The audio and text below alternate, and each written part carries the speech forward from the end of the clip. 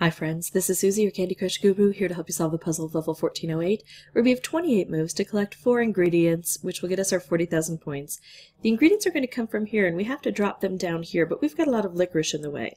So in the initial stages, I'm just going to kind of do a hack job here. I'm going to wait for um, the opportunity to make some moves against the licorice, and where I can do that, that's what I will do. I'm not worried about even contemplating where the uh, ingredients I have are on the board or in the um, conveyor belt. I'm just trying to hack through as much licorice as I can. And maybe set up some specials to hack through more. I've got a, the next ingredient, and it's on a conveyor belt too.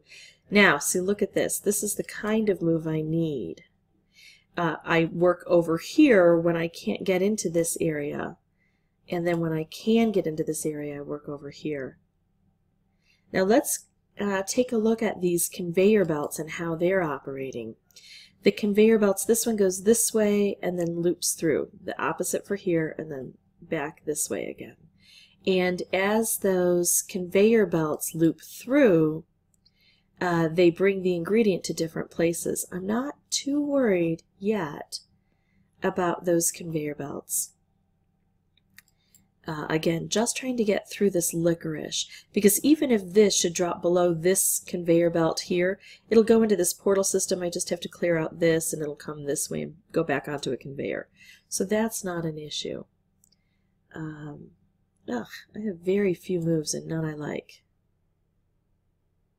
Here we go. Now we're starting to see some progress in here. And we have to clear out this bottom area. And now also I'm going to be looking for opportunities to make some specials along here. Because once I get these ingredients going, they have to be collected. And it's kind of tough when there's no opportunity. So I see my first opportunity, I'm going to collect an ingredient, and now I have to kind of focus on this collection. This is nice because I'm also making a special. And let's see. Hmm, kind of, what do I want to do? If I allow this to go away, then this isn't collected. If I don't, then this comes into the portal, but I think that's okay. So I'll show you how this portal system works. The portal's there and then it drops here. I didn't actually have to make a move here because the um, the striped wrapped combo took it out.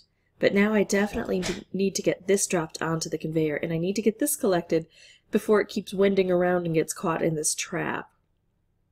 So I'm going to be looking for those opportunities to make specials on this board, or just to bring it down directly. Ah, here we go. Okay, now I can't reach the orange directly, but I can bring this down and I can't reach the red directly. Uh, so what I'm going to do is allow this to wind one more time and uh, then I have to be very diligent and make sure that I can remove it. Let's see, so I'm going to be looking for these opportunities to set up some specials up here to help. Now I can take out an orange here and removing the orange will concentrate the rest of the colors on the board for me.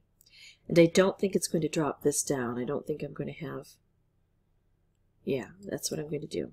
Take out the orange, and now use my other couple moves that are coming here to see about making, oh, there we go.